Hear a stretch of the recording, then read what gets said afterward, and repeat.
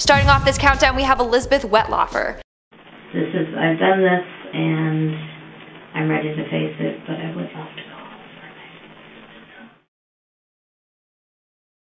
Elizabeth Wettlaufer was a Canadian registered nurse for nine years in southwestern Ontario. In 2016, she quit her nursing job, checked herself into a psychiatric hospital, and confessed to her crimes. Apparently, between 2007 to 2016, she used her powers as a nurse to take the lives of eight of her patients and injured six others. She would do so by giving them lethal doses of insulin. She also admitted to stealing opioids to fuel her personal addiction. After she confessed to the killings, an interview took place with the police police, and that's when she confessed her crimes once again, this time in a detailed statement. Apparently, she had voices in her head telling her to kill those patients. Part of me had started to believe that it was the devil, and part of me thought it might be God purpose my life. At first, she believed that this was God talking to her, so she felt okay killing for him. Then later on, she thought maybe it was the devil. On top of that, she claimed that it was a gut instinct telling her that these people needed to be killed. And once she did the deed, she would hear laughter in her chest. Whatever it was, it wasn't a voice in my head, it was a voice in here.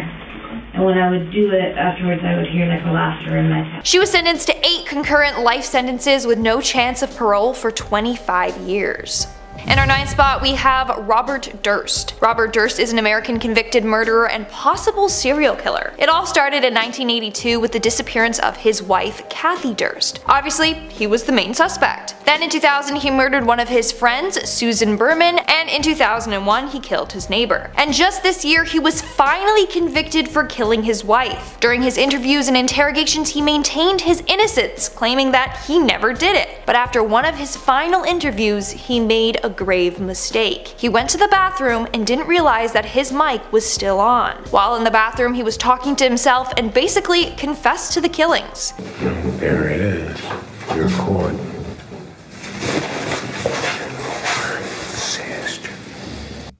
What the hell did I do? Kill them all. Of course. The interviewers were completely shocked by what they heard, and Robert was immediately arrested.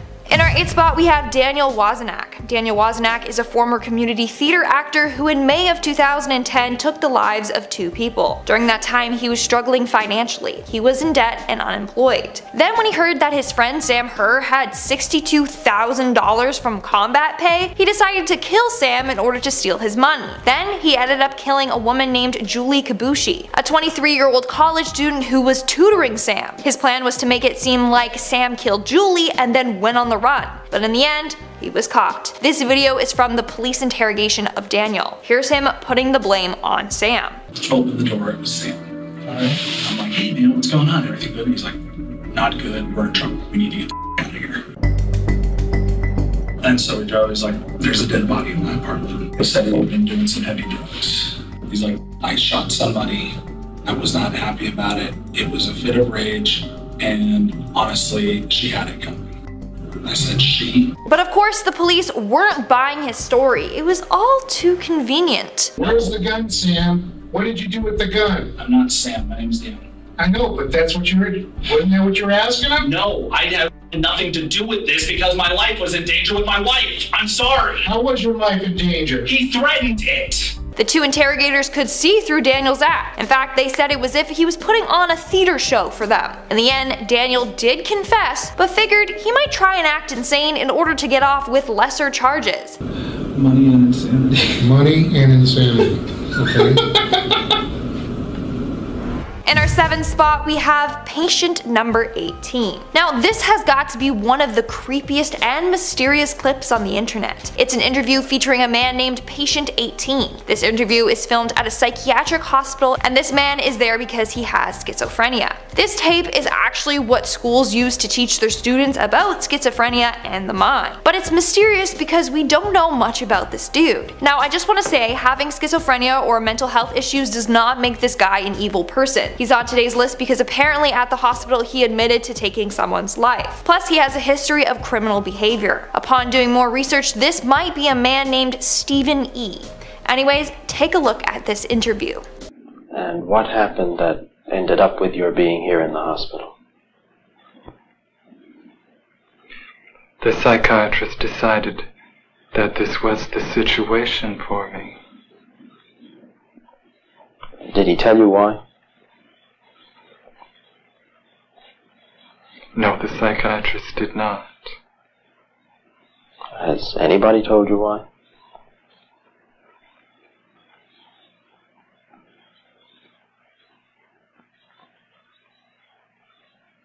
No. I got chills. I don't know about you. It's quite interesting how he carefully plans out his answers. Plus, no matter what they're talking about, he still shows no emotion. And in what way are you different?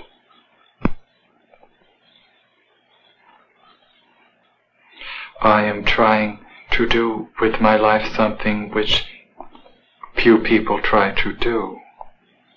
And this influences my thinking and consequently my actions.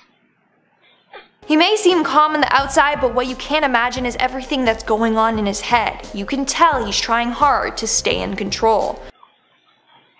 As soon as I express the belief that I do not belong in this hospital, which is a mental hospital, then those who dislike me want to find a worse place for me.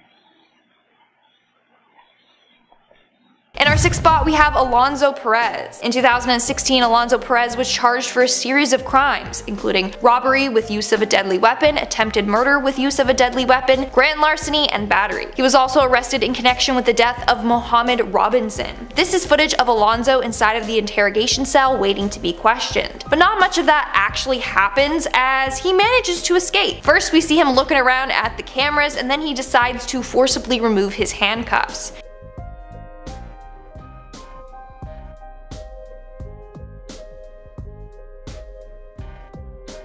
Now he does manage to get them off, but he's not ready to leave yet. He hasn't thought of a plan. So he pretends that his handcuffs are still on and he thinks of an escape plan. When he thinks of his plan, he gets up, climbs up, and escapes by crawling through the ceiling. He then drove away in a rental truck that someone left with the engine running. But don't worry, it was short-lived freedom because within days he was caught again, and in more trouble. In the end though, he did plead guilty to three murders. We're now at our fifth and halfway mark with Andrei Chikatilo. Andrei Chikatilo Chikatilo, otherwise known as the Butcher of Rostov or the Rostov Ripper, was responsible for the deaths of 56 individuals. He would lure people that he met at bus stops or train stations away to remote locations and then he would murder them. Sometimes he would even eat certain parts of his victims. In this interview, what shocks a lot of people is the fact that everyone expects him to act like a monster, but in fact, he acts quite the opposite. He seems innocent, which is either an act or, you know, his true personality. So he keeps up the innocent act saying how he feels sorry, blah blah blah. But the act drops when he is asked one question. Now the interview is in Russian, but I have the translation. So the interviewer asks him if he has ever thought about meeting his victims in heaven or hell. He answers with, and I quote, No, I have never thought about that, never. I feel like it doesn't bother me.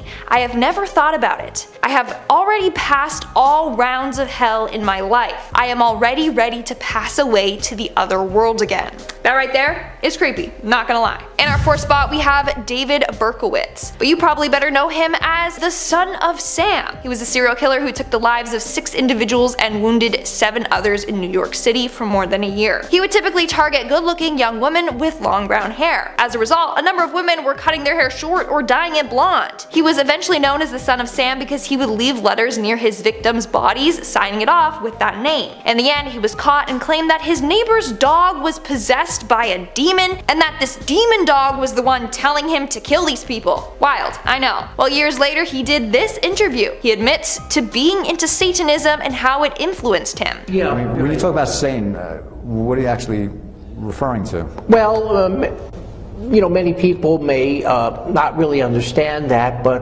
at, at, there was a time I was so confused and, and so troubled that um, I, I was seeking meaning and purpose. I was seeking uh, something. I, I don't know. My, as my life began to spin out of control i mean i got involved in like satanism and i was reading the satanic bible and he continues on talking about himself but a lot of people believe he was just putting on an act the whole time that he was trying to convince people that he's normal so that he would be released early this is pretty common among serial killers. They love to manipulate people. How does it feel to be here for, for 30 years knowing that this is going to be it uh, you know it's like, you know, the expression, take one day at a time.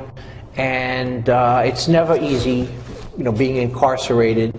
Uh, I have no one to blame but myself. In our third spot, we have Michael Beaver. In July of 2015, 16-year-old Michael Beaver and his 18-year-old brother Robert took the lives of their parents and three siblings. They first attacked their sister. When she screamed, their mother ran out of the bedroom and they stabbed her over 50 times. Eventually, they worked their way around the house, killing their family members. It's a very scary and graphic case. In this interview, Michael completely confesses to everything to an officer. So he was buying weapons because you guys had talked about murdering. Yeah, and he started planning again.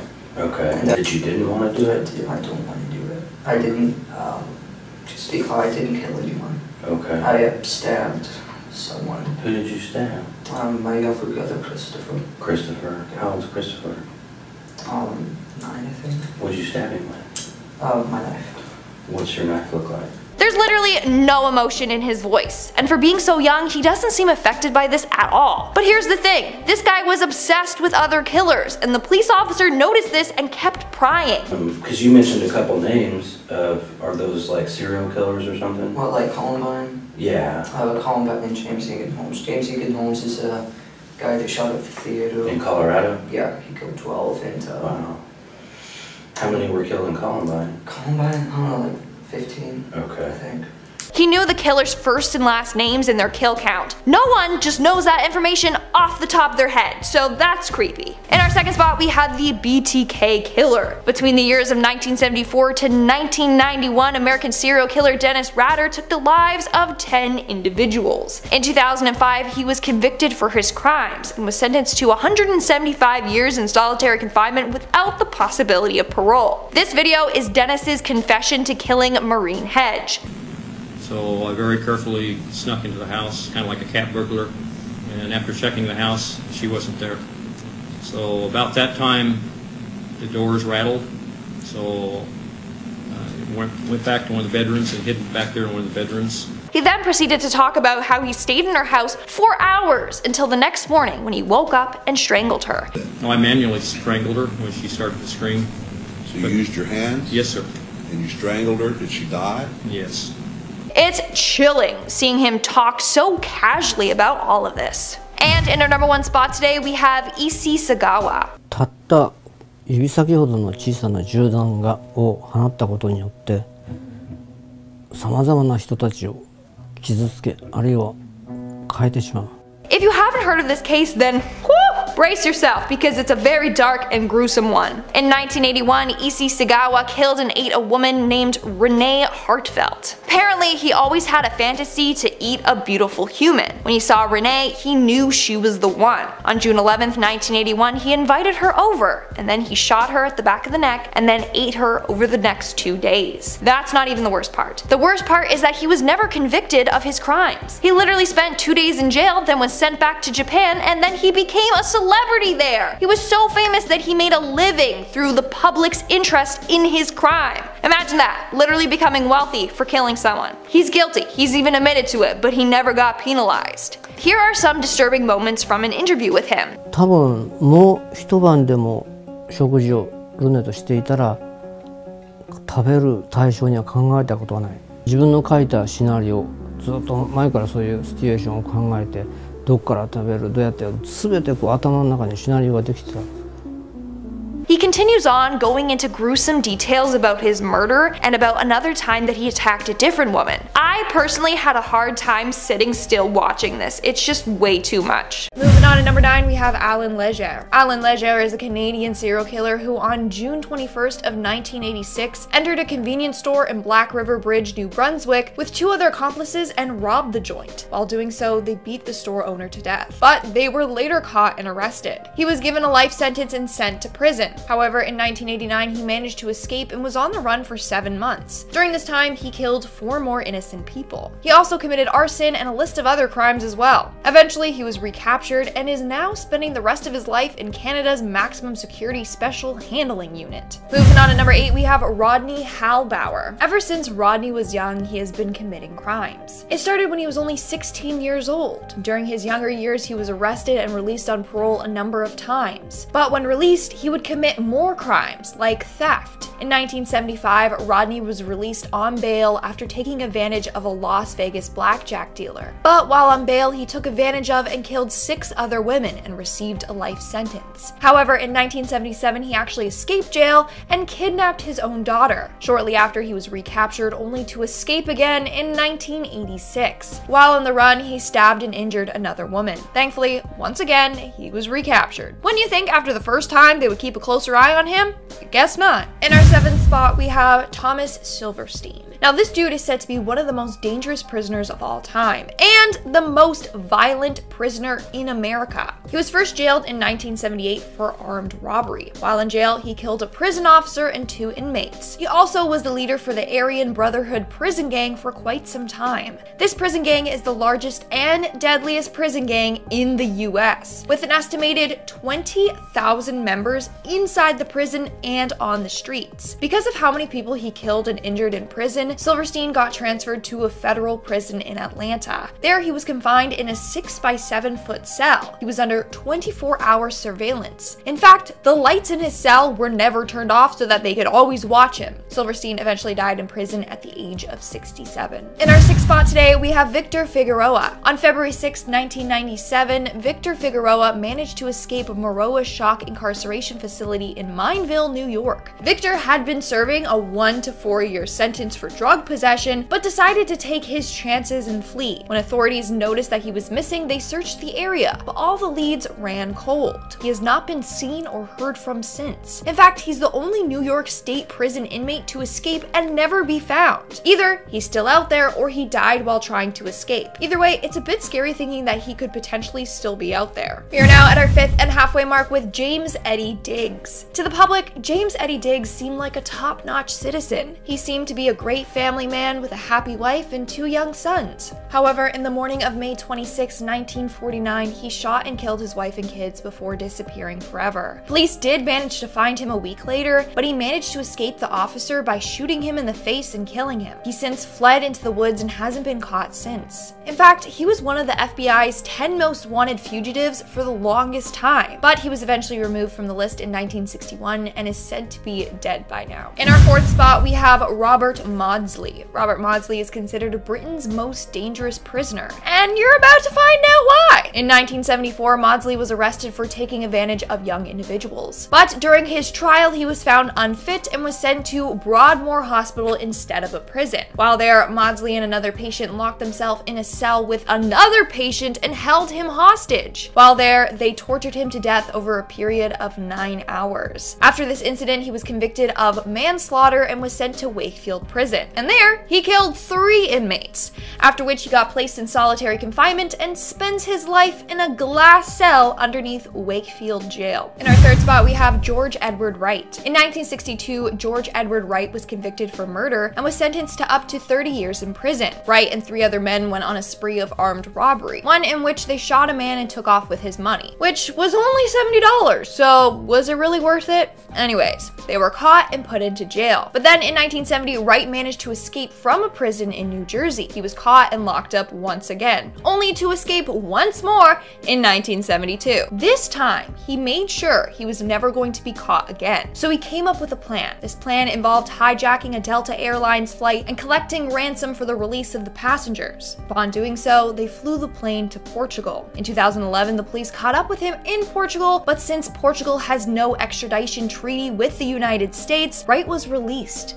He remains a fugitive to this day. Coming in at number two, we have Eric Rudolph. In 1996, Eric Rudolph bombed Atlanta's Centennial Olympic Park during the Summer Games. As a result, two individuals were killed and over 100 were injured. But that was just the beginning of his deadly bombing spree. He pulled off three more bombings, injuring hundreds more. For five years, the police were on a hunt for Eric.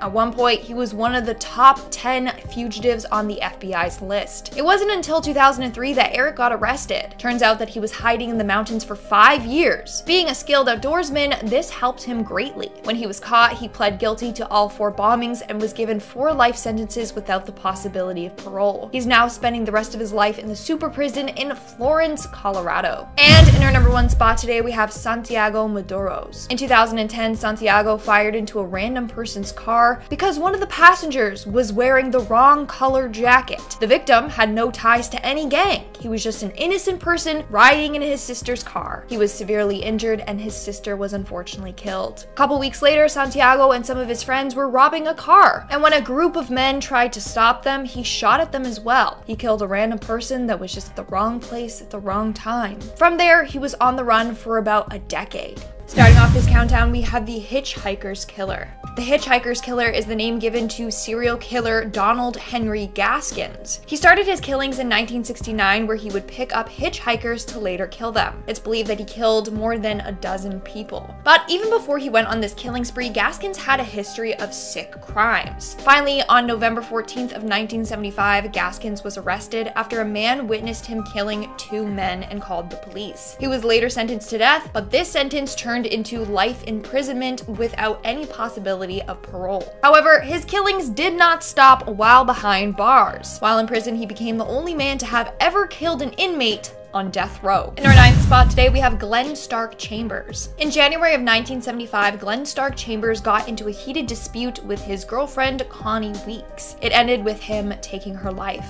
As a result, he was sentenced to death by electric chair, later reduced to life imprisonment. However, Glenn escaped prison on July 13th. Glenn, with two other inmates, ganged up to attack their detention officer and then escaped through a window. Now, he was captured three days later, but only to escape several years later. So he worked with the prison to help build furniture. He came up with a good idea to put himself into one of the boxes and have himself carried out of prison in a transport truck, and it worked. Even after three decades, Glenn has never been found. If he was still alive today, he would be in his 70s, so he could still be out there somewhere. In our eighth spot, we have Ted Bundy. Now, what was so scary about Ted Bundy is how smart he was. He was the definition of evil genius. So basically, he would use his smarts to manipulate women and then kill them. Bundy is said to be responsible for murdering 30 women, although it's thought that his number is much higher. Now, Bundy was actually able to escape custody multiple times. The first time, he jumped out of a second story building and fled while at the courthouse. He had planned this for days, practicing jumping from his top bed bunk in prison down to the floor to strengthen his ankles. Now, eventually he was caught, but then a while later, he escaped again. This time, he forced himself to lose weight in order to squeeze through a hole in his cell ceiling. When he did escape the second time, he went on to murder more women,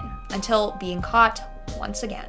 In our seventh spot, we have Charles Manson. Infamous cult leader Charles Manson, who led the Manson family cult, had his followers commit crimes and murders on his behalf. Some of his members committed a series of nine murders in July and August of 1969. In 1971, Manson was convicted of first degree murder and conspiracy to commit murder for the deaths of seven people, including film actress Sharon Tate. What's scary about Manson is that he was also an evil genius. If you've ever seen his interviews, he acts quite wild and strange. People think that he's out of his mind. At one point, he was diagnosed with schizophrenia and paranoid delusion disorder, but some people think that he was just too smart for his own good and he was just faking all of this. In 1971, Manson received the death sentence, but a year later, the government got rid of capital punishment, so his sentence was changed to life in prison instead. In our sixth spot, we have Ian Brady and Myra Hindley. Between 1963 and 1965, Ian Brady and Myra Hindley worked together to torture, take advantage of, and kill a number of young individuals. What they did was incredibly messed up and it'll make your stomach churn. Now, these two were actually given the name the Moors murderers because after taking the lives of their victims, they would bury their bodies on the moors outside of Manchester. Both individuals were sentenced to life in prison for their crimes. Ian was actually placed in solitary confinement, whereas Myra died in prison in 2002. We are now at our fifth and halfway mark with Lester Eubanks. In 1965, Lester was convicted of taking the life of Mary Ellen Deener. As a result, he was given the death penalty, which later got changed to a life sentence. Now, over the years in prison, apparently Lester changed his ways and became very well behaved. In fact, on December 7th, 1973,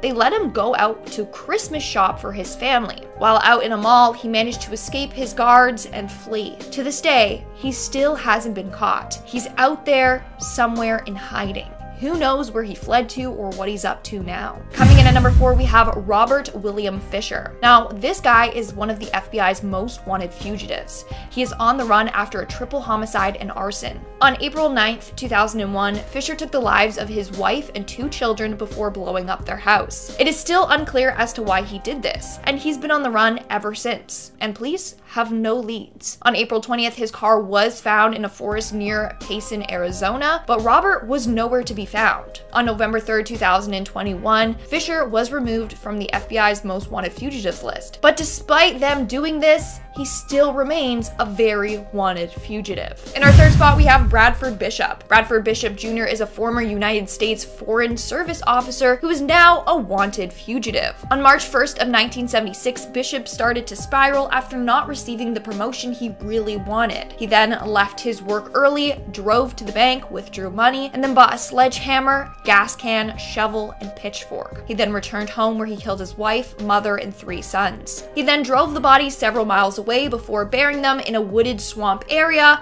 before setting them on fire. As a result, he was placed on the FBI's list of 10 most wanted fugitives. They have no clue as to where Bishop is now. He could be anywhere, but they do believe that he fled to Europe. Moving on to number two, we have Arthur Hutchinson. Arthur Hutchinson has lived a life of crime for murder, attempted murder, theft, and burglary. In fact, he spent five years in prison for the attempted murder of his half brother. In September of 1983, he was brought into a police station after being arrested for theft. While there, he asked to go to the bathroom and then proceeded to jump out of the bathroom window and fled. He was on the run for three and a half weeks. While on the run, he crashed a wedding and murdered the bride's father father, mother, and brother. Later that day, he broke into another person's home and stabbed all three of the residents to death. He was finally caught on November 5th of 1983 and sentenced to life imprisonment. And in our number one spot today, we have Ahmed Suradji. From 1986 to 1997, Ahmed took the lives of 42 females. The bodies of his victims were found in a sugarcane field. What he would do was after killing them, he would bury them waist deep in his field with their heads facing his house. He believed that by doing so, this gave him great power. But he was later caught and arrested alongside his sisters and three wives who helped him. One of his wives was actually sentenced to death, but that was later changed to life imprisonment. Ahmed, on the other hand, was sentenced to death by a firing squad in 2008. Starting off this countdown, we have Donald Harvey,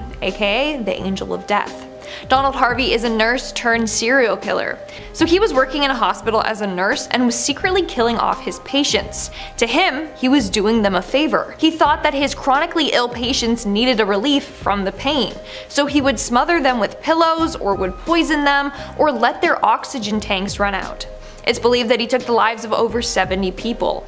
However, in 1987, he was only convicted for 37 counts of murder. He was sentenced to life plus 20 years. In March of 2017, Harvey was beat up badly by a fellow inmate. He passed away shortly after. In our ninth spot, we have Albert DeSalvo. Albert DeSalvo, better known as the Boston Strangler, took the lives of 13 women between 1962 and 1964. He would strangle these women with a piece of their clothing before taking advantage of them. In January of 1964, 1967, he was sentenced to life imprisonment.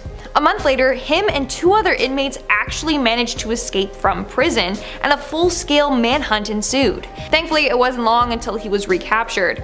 However, in 1973, Albert was stabbed to death by another prisoner. In our 8th spot, we have Ronnie McPeters. Now, Ronnie McPeters has actually been deemed too insane to execute. So Ronnie was first arrested after taking the life of a 27 year old woman. The woman, Linda Marie Baltazar, was running errands when Ronnie came up to her window while panhandling. She shooed him away and he left but he ended up coming back and shooting her. He was first placed in jail for his crime and then placed in the rubber room.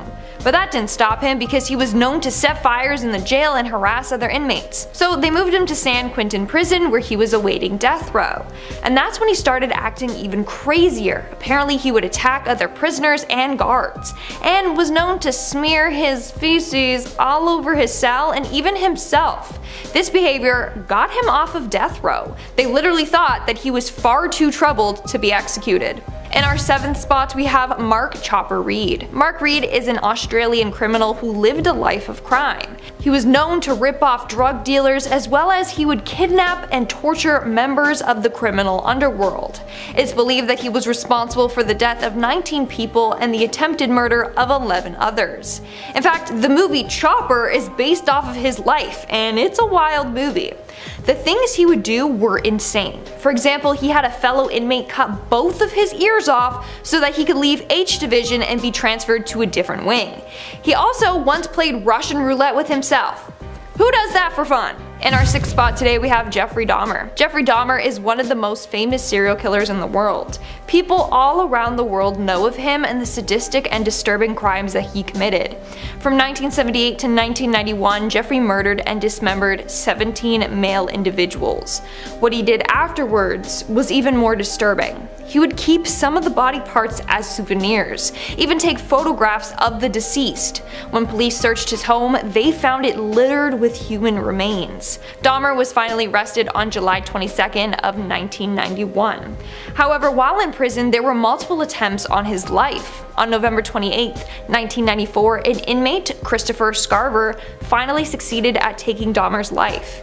His reasoning behind this? Well, apparently Dahmer was known to taunt others in prison. He would do this by making his prison food look like severed limbs to taunt the other people. He would even drizzle ketchup on top his blood. Christopher and others found this very unnerving, so he decided to take action against him and beat him to death. We are now at our fifth and halfway mark with Jason Barnum, aka better known as Eyeball Man. And that's because he literally has a tattoo on his eyeball. Like, he tattooed it completely black. If that doesn't speak volumes about who he is, then I don't know what does. He also has one side of his face tattooed to look like a skull. So not only does this dude look like a scary prisoner, but he is one. This dude has a long list of crimes under his belt, including possession of heroin, first degree attempted murder, first degree burglary, and third degree felony in possession of a weapon. In fact, he was sentenced to 22 years in jail after shooting a police officer. Moving on to number 4, we have Nico Jenkins. This guy is one of the scariest inmates in the world. Some say he is the craziest inmate in the world, and you're about to find out why. One time, he killed a man just because he stared at him the wrong way. Not only that, but in court Jenkins was known to speak in some weird language. He said he used this language to communicate with an Egyptian serpent god.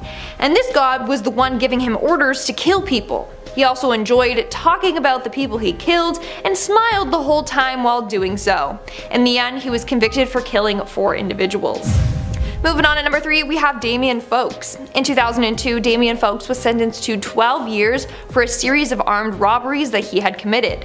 But while in jail, he committed even more crimes. In 2010, he attempted to kill another prison inmate. He made a DIY shank by melting a razor blade onto plastic cutlery, and he used it to slice a guy's throat. As a result, he was transferred to a higher security prison but that did not stop him. A year later, he killed an inmate by strangling him to death with strips of his bedding. These attacks gained him the title of being an extremely dangerous prisoner. In our second spot today we have Alexander Pikushkin.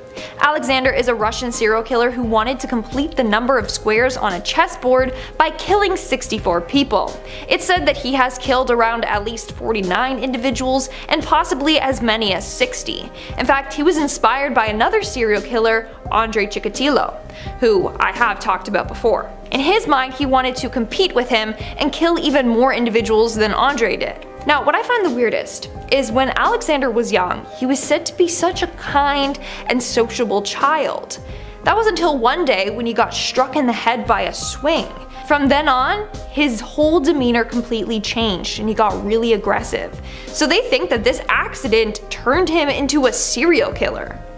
And in our number one spot today, we have Pedro Rodriguez Filho, aka the Brazilian Maniac. This guy is a Brazilian serial killer who claims to have taken the lives of 100 individuals. He started killing at a young age, one of the first kills being his father. He apparently killed his father with a machete, cut out his heart, and then chewed on it. He also has been known to kill and torture a number of gang members. He did this all before he was 18. He was arrested on May 24th of 1973, during which he was placed in a car with another criminal who he killed for no reason. And while in prison, he went on to kill more people. It's said that he took the lives of 47 inmates in jail alone. Pedro served 42 years in prison before his release in 2018. Yes, he killed that many people and then he got released. Starting off this countdown, we have Gary Ridgway. Gary Ridgway, otherwise known as the Green River Killer, took the lives of 48 women between 1980 to 1990. But it's believed that his number may be as high as 71 people. He gets his name due to the fact that he would dump the bodies along riverbanks in South King County. In 2001, he was arrested. After his conviction, he did an interview where he talked all about his murders and how he had the desire to kill ever since he was little. But I took my uh, aggression on, I couldn't take it on my mom, I had to take it on my animals and as stated in the interview, he confessed that he started killing at a young age. He had this built up anger towards his mom, but he couldn't harm her, so he would harm animals instead. Living things? living things, killing killing animals, Okay. killing animals. Um, In this interview, he went on to talk more about his victims in detail. Hearing someone confess to murder is just very, very disturbing. In our ninth spot, we have John Hughes. But before I go any further, make sure to hit that thumbs up button because it really helps us out. I don't think like normal people. Never have. I have racing thoughts. It's been that way since I was a kid. I'm constantly, it doesn't matter if I'm sleeping, if I'm awake, I'm constantly thinking of a hundred things at one time. John Hughes considers himself the Antichrist. He was arrested back in 2008 after killing a trucker at a rest stop along Interstate 29. This dude is intense and incredibly scary. He claims to have killed 15 to 20 people, but that hasn't been confirmed yet. Either way, in this interview for KMBC News, Lara Moretz gets the chance to interview him. And he talks about the people he has taken the lives of, and why he did this. Rest area, and that was a way for me to gain control, to, to show, I don't know, I guess I would assert my dominance, I guess you could say. That'd be the way to put it. And it shut everybody up for a while. The scariest part of the interview is when Lara asked if he feels bad about killing people. And this was his response. I don't feel bad about killing uh, anyone. Not personally, that I've personally done myself, no. I just view things as objects people, animals, the trees, cars, they're just all the same to me. So no, he feels no remorse. In our eighth spot, we have Jose Martinez. explanation because I want to get them. I didn't want the cops to find them. I want to find them myself. We went to this little house. We broke in there and we find one, I shot him. This dude is one you never want to mess with. And he reveals why during his interview. Basically, Jose was a hitman for a drug cartel. He admitted to killing three dozen people as a hitman, and dozens of others just on his own. Many of whom were people that just pissed him off. For example, in this interview he talks about one of his brother-in-law's friends. Whenever the friend would visit, he would tell him to park on the side of the road, not on his driveway. He told him this a number of times, yet he still continued to park on the driveway. So, what did he do? He asked the guy to take him for a ride in his truck.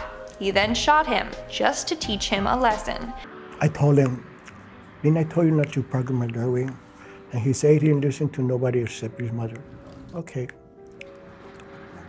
Moving on at number 6 we have Otis Toole. Otis Toole, or the Jacksonville Cannibal, is a serial killer convicted of 6 counts of murder. He's most famous for killing the son of American's most wanted host, John Walsh. In an interview from 1993, we see how dark and twisted Toole really is. He would talk about his dark desires, like watching an entire city burn. He then went on to justify his killings, saying that taking someone's life is no different than stepping on a bug or eating animal meat. There's way more disturbing stuff that he discusses, but it's just too much to talk about on YouTube. Like he goes into depth about his killings. It's way too much to hear. We're now at our fifth and halfway mark with Joel Rifkin. Tragedy happens in lives. Unfortunately, it was their lives. certain instances The world wouldn't know his name until after his killing spree had ended. Now, in a rare prison interview, serial killer Joel Rifkin talks about his sickening crimes down to the smallest detail. Joel Rifkin was an American serial killer responsible for taking the lives of 17 women in the 1990s. He was caught in 1993 when cops pulled him over for a missing license plate. But to their horrors, they found his latest victim in his trunk. He was then sentenced to 203 years in prison.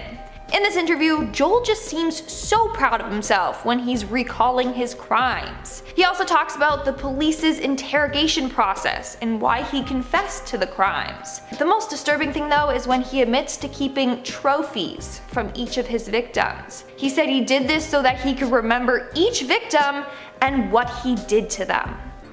As the numbers started to increase, an ID would, you know, okay, that has a photo. I know, I know who that girl was. Uh, or a piece of jewelry. Okay, I know that it's from that girl. In our fourth spot, we have Israel Keys. Israel Keys started his killings in 1996 and continued on until March of 2012 when he was finally arrested. He was known for traveling to a number of locations to commit his crimes. Then he would rob banks and homes so that he could afford to travel to kill. In this interview, we see him talk about his killings and how he selected his victims. When I was smart, I would let them come to me. Just remote area. People just found it gross how calmly he talks about this all while eating a bagel and drinking. He continued on saying what his strategy was, and that was to grab people in remote locations like parks and campgrounds, even cemeteries. You might not get exactly what you're, there's not as much to choose from in a manner of speaking, but there's also no witnesses really, there's nobody else around. In our third spot we have Chris Watts. If you've seen the Netflix documentary on Chris Watts and his family then you know how messed up this whole story is. Chris is guilty of killing his wife and their two daughters. When he was brought into questioning he denied having anything to do with this. But after failing the polygraph test the police started nailing him hard. That's when he came up with this elaborate lie about what happened. After that, I downstairs and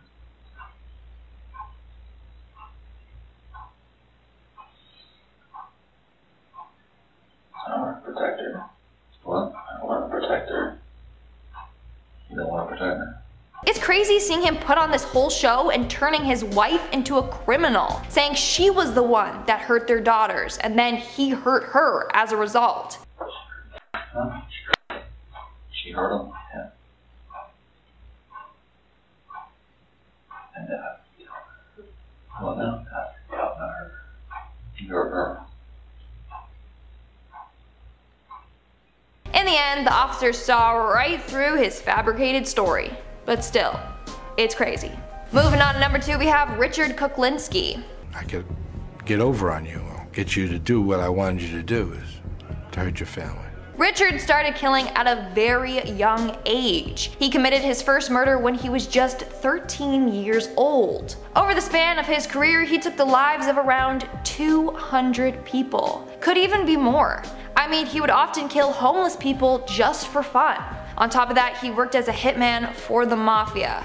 So yeah, his count is pretty high. It was revealed that any person who was ever deemed his friend was eventually killed off by him.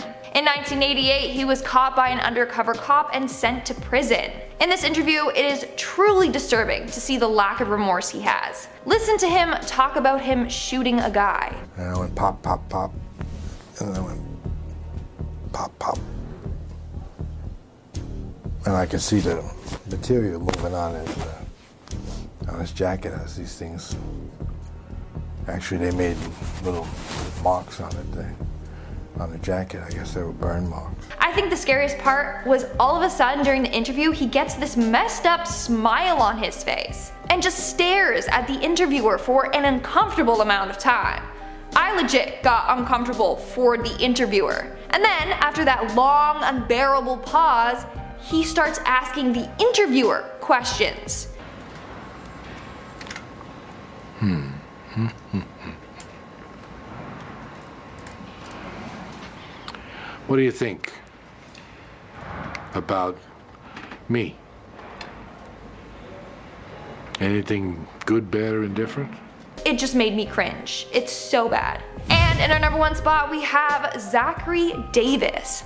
This interview gave me the chills. It makes me so uncomfortable. So this is the interview of Zachary Davis. In August of 2012, he took his mother's life before trying to set his house on fire with his brother inside. Now, Zachary has been diagnosed with a number of mental illnesses, including schizophrenia and depressive disorder. In 2007, when he was 9 years old, his father passed away from ALS, and that apparently started this all. He just spiraled out of control and became withdrawn. He even had an app on his phone about serial killers, and in his notebooks he would write about disturbing things, like you can't spell slaughter without laughter, the creepiest part of this interview is when Dr. Phil asks him about the murder weapon, which was a sledgehammer. At one point while discussing it, he literally smiles as if he's proud of what he did.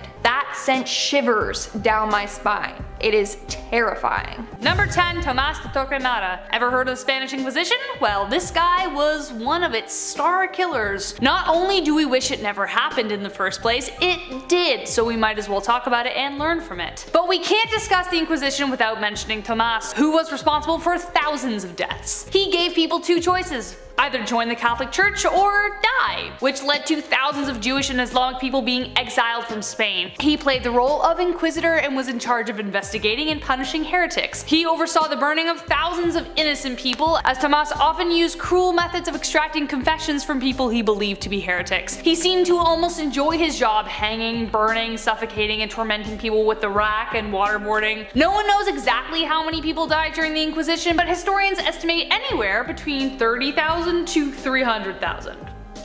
Pretty, pretty wide gap there. Number 9. Caligula. Man, his name is too fun to say. Too bad he wasn't a fun guy. It's better I tell you now that essentially this list is a depiction of what happens when the wrong people get their hands on power. From 37 AD to 41 AD, Caligula ruled as if he was some kind of mad god that needed to be satisfied. Not only did his addiction to gambling cause a nightmare for the economy, he seemed to delight in suffering. In the first three months of his rule, he made his people sacrifice 160,000 animals in his name. When he first took over as ruler, people actually liked him though. He made helpful political reforms and recalled exiles, but most people blame his future tyranny on a brain fever that befell him later on. He blew money on lavish projects, some still helpful like aqueducts, to building a two mile long floating bridge across the Bay of Bali so he could ride his horse across it uh, day after day. He even ordered his men to attack the sea by collecting shells with their helmets. His lascivious love affairs included copulating with the wives of his allies and even allegedly his own sisters. Caligula's reign was equal parts terrifying and embarrassing, which is probably why his officers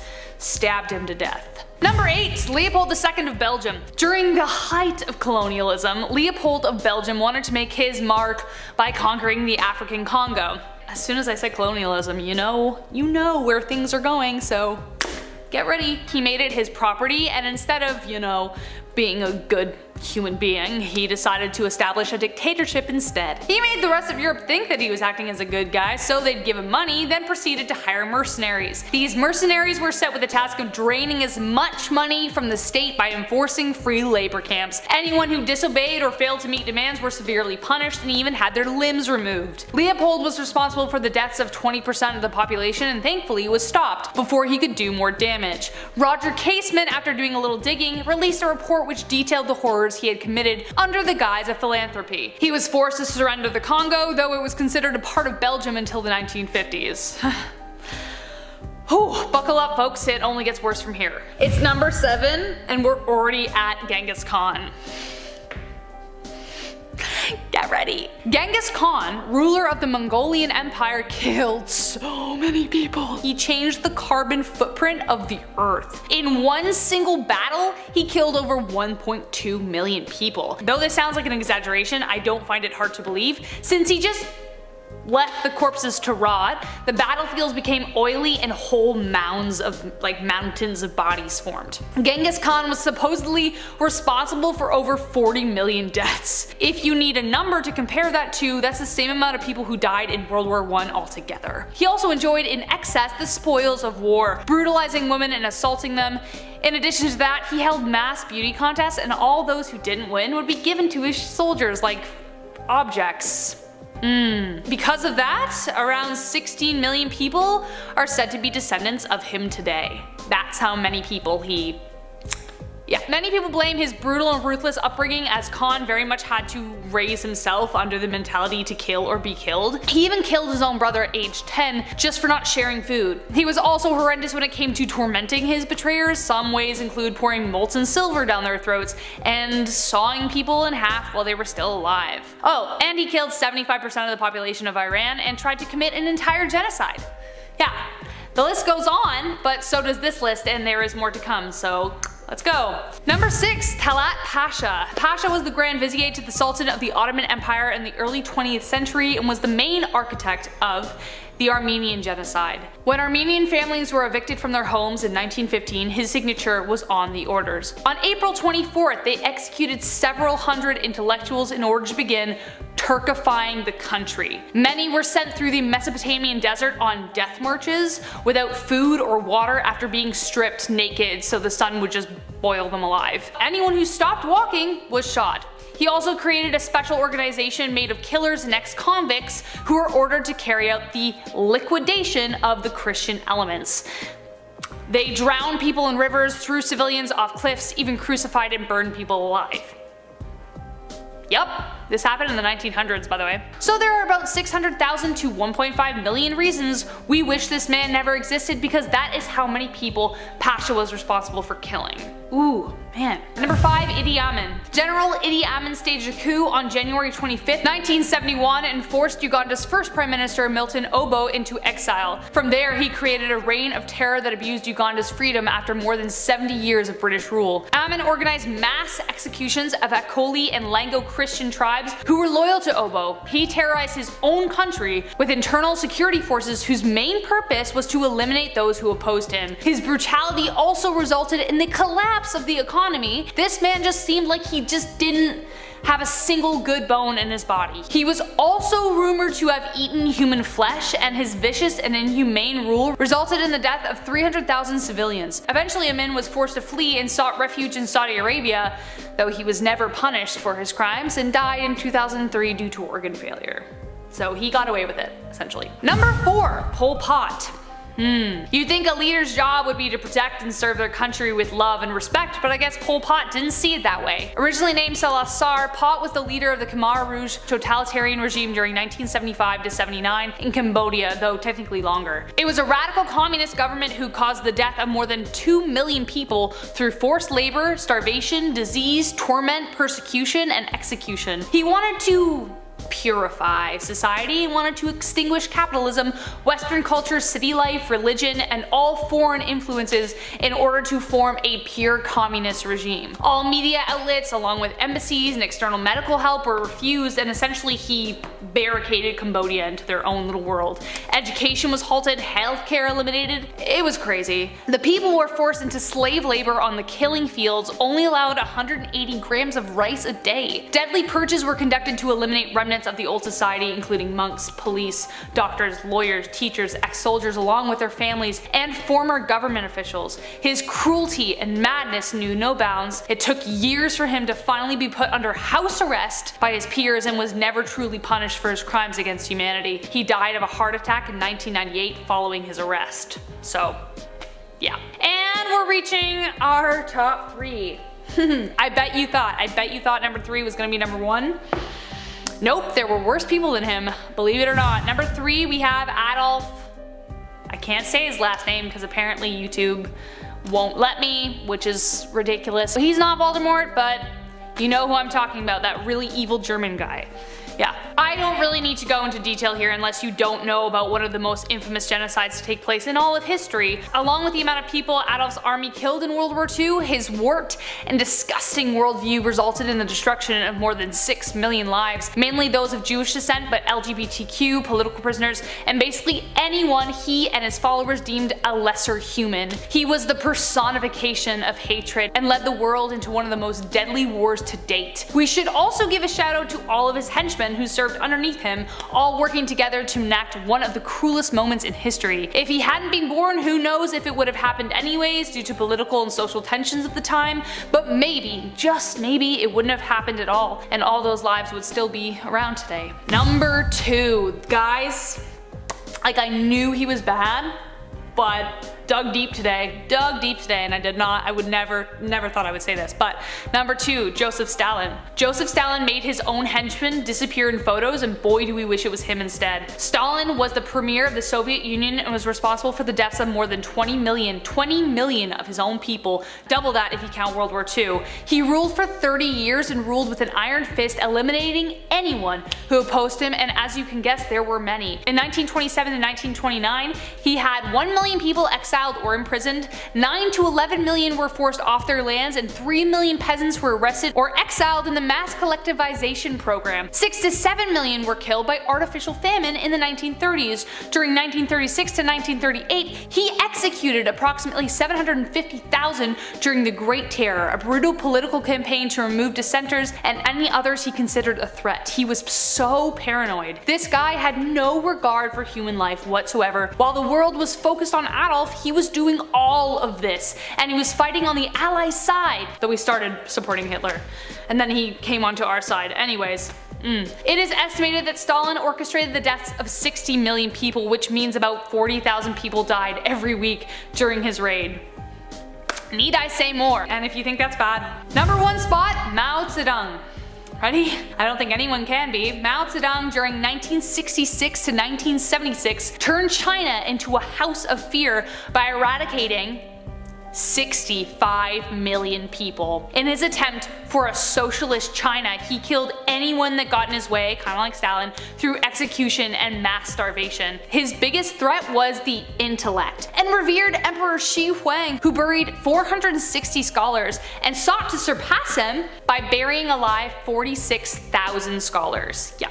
My stomach turned when I read that. That's awful. He coined his operation the Great Leap Forward. To combat rising resistance, he created the Red Army, composed of girls and boys from the ages of 14 to 21 to roam cities and target enemies of the state, especially their teachers. He would make the teachers wear dunce hats, cover their faces with ink, and make them crawl on all fours and bark like dogs. He also expanded a system of a thousand forced labor camps. Most amazing fam, I could go on, but I honestly don't have room. It just seems like there's no end to all the awful things that he did. For all these reasons and more, Mao is of course in our number one spot. Coming in at number 7, we have Vlad the Impaler. Vlad the Impaler was the inspiration behind the legend of Dracula, and like his fictitious counterpart, he was a very bloodthirsty chap. Vlad was alive for a mere 45 years between 1431 and 1476, but in that time it is estimated that he could have killed around 1,000 people. Vlad was Prince of Wallachia, a historic region of Romania, and to cut a really long story short, he killed everybody that stood in his way of power or threatened his position. He plundered villages and killed armies. How did he kill them? Well, he's not called Vlad the Impaler by accident.